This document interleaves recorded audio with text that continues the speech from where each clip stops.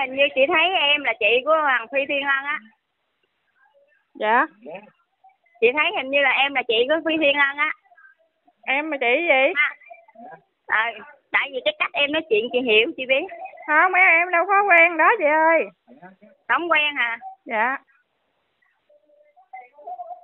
Nhìn thấy giống quá à. Cách em nói chuyện giống Phi Thiên Ân lắm. nó đâu ờ, ở đâu gì đó em không biết nữa em ở chợ trà vinh nè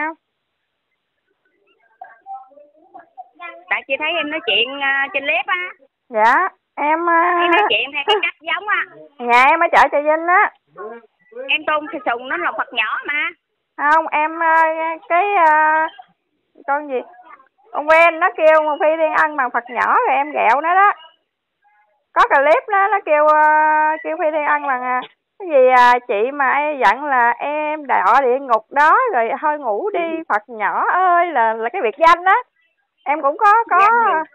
em cũng Với có để Với, à, với, với, với chị nói cho em nghe nè. hả Giờ cho bây giờ em với Phi Ân có nói gì đi nữa. Cộng đồng mạng người ta cũng thực tế là thì đó nó khác. Hiện giờ người ta thấy cảnh gì người ta nói cảnh đó.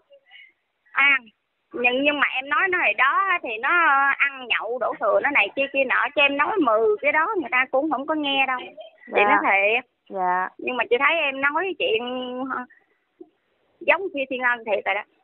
Chúc Dạ. mừng em nha. Dạ